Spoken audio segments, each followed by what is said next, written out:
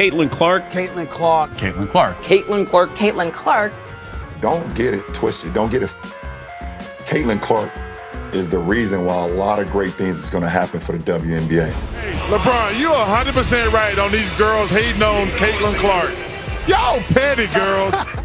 Should have been unanimous. Should have been. I agree. Unanimous. It should have been unanimous. That's right, it should have been unanimous. Now, on today's NBA Rundown, we are going to talk about the possibility that the WNBA has botched things so bad with Caitlin Clark at this point that at some point in the future, Caitlin Clark might actually make the difficult but maybe wise decision to actually bail on the league that couldn't even get its Rookie of the Year award done correctly.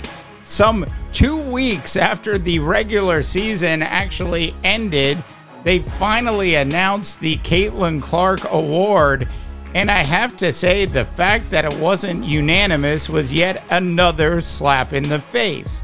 Now, in the world of sports, we all know that there have been game changers. You know, those players that actually entered a league and actually shook things up so much that that league changed forever. I mean, take Babe Ruth in Major League Baseball. Then there's Magic Johnson and, of course, Larry Bird in the 80s, which was then followed up by Michael Jordan and the outstanding things that Jordan did. The three of them combined absolutely saved the NBA and helped turn it into the global juggernaut that it is today. Now, we all know that the WNBA over the years has certainly struggled. I've been following the league since day one, and I have never seen the kind of attention that this league is actually getting because of the Caitlin Clark effect. And yet, at the same time, it makes absolutely no sense that the league has not actually truly gotten behind Caitlin Clark. Now, we did have the USA basketball incident, which was, of course, absolutely ridiculous that Caitlin Clark wasn't on the USA basketball team. But enough for me. Let's. I've got a quick bite for you from Stephen A. Smith, and then I'm back with more. You make the call because of the betterment of the whole in the end. That is not compromising your integrity. That is business. And y'all are going to find that out.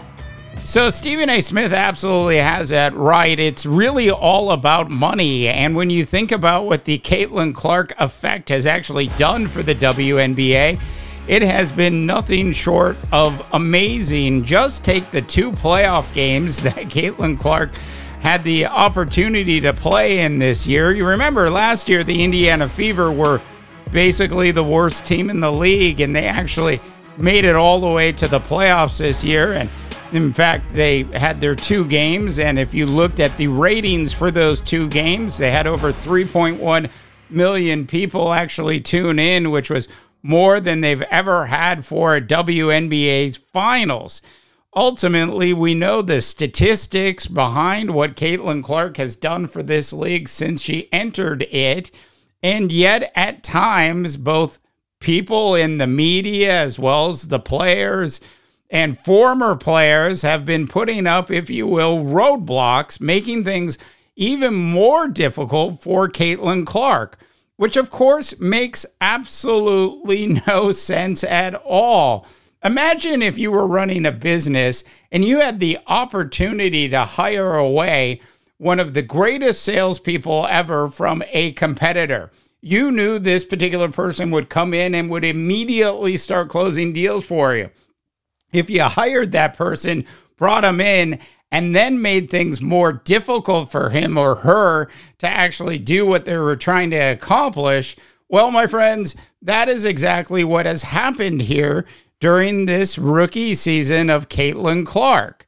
So if you're Caitlin Clark and you've helped bring all of this attention to the WNBA, you've helped the TV ratings, you've helped the merchandise sales. You've done all of these great things. You even helped get chartered flights for the players, something that they couldn't accomplish in their first, what, 25 years of being a league.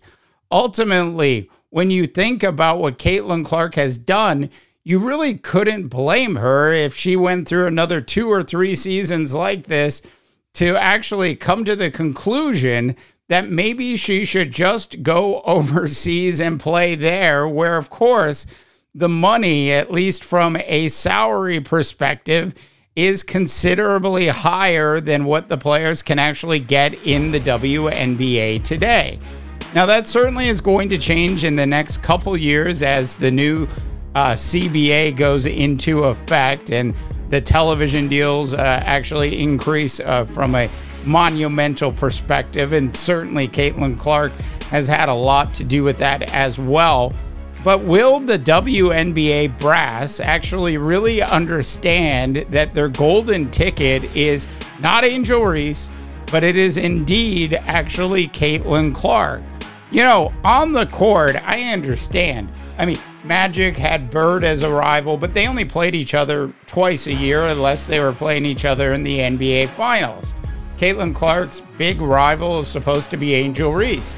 And when you do the side by side comparison from a statistical perspective, it is absolutely clear that Caitlin Clark, from both a stats perspective as well as an eye test perspective, is clearly the more dominant player. Look, I have to say, I have been just shocked by how the WNBA has botched and mismanaged, for the most part, this rookie season of Caitlin Clark. And the Rookie of the Year award was just another example of that. How could anybody who actually watches the WNBA actually conclude that Angel Reese actually deserved to win Rookie of the Year? That award should have absolutely been unanimous. Now, maybe the WNBA will get its act together and Caitlin won't be forced to look overseas or forced to look at someplace else to play. But at the end of the day, I'm telling you, if this particular stuff keeps up, all of the on the court chippiness, all of the off the court berating by former players and current players, why wouldn't Caitlin Clark decide to actually make the move to a league in which she is actually wanted? All right, I'd love to hear your perspective on this particular topic. I believe Caitlin Clark will stay in the WNBA for a long time. I actually believe the WNBA is actually going to finally get their act together and actually treat Caitlin Clark exactly as she should be treated. She is the golden ticket, a once in a generation player that can absolutely turn the fortunes of a league around. All right, that's it for today's WNBA Rundown Show. If you haven't had a chance to subscribe yet, please go and subscribe. And of course, like this video. Every subscription and like certainly helps us grow the channel. For the WNBA Rundown Show, I'm Dave Dubois, wishing you all a tremendous rest of your sports viewing day. To the cool new music, we go. This is Phoenix.